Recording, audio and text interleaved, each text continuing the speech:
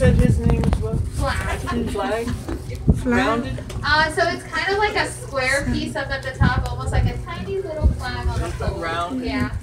Well, the other one I saw must have been separate. Was there two then? Yeah, It because might be. he had a point. He had a nice Oh, shaped yeah. fin, didn't look damaged at all. Interesting. Yeah, there could be more out here. So it's very common to see them kind of spread out, um, but also kind of in a group, so to speak. Yeah, there are two. Yeah, you're points. right. Ah, You're right. One is a lot pointier. so was that three? There might be three. Yeah, unless that other one just turned really quickly.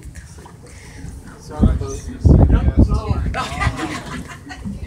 He had to come back and make it easy. You said there was So again, these are Yeah, there bottlenose was. dolphins. Um, on average, in coastal systems, they're smaller than you would find for offshore bottlenose dolphins, and they don't really switch between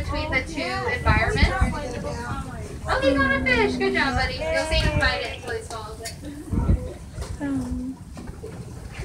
So inshore dolphins can usually be around, I'd say like six-ish feet or so, full grown, and they might get up to 700 pounds, but the average I would say is, uh, if you look at Nicholas and Sidley, different cetacean species, meaning whales and dolphins and porpoises in the Gulf, there's almost 30 different species, but again, in coastal systems, truly the bottlenose dolphins are the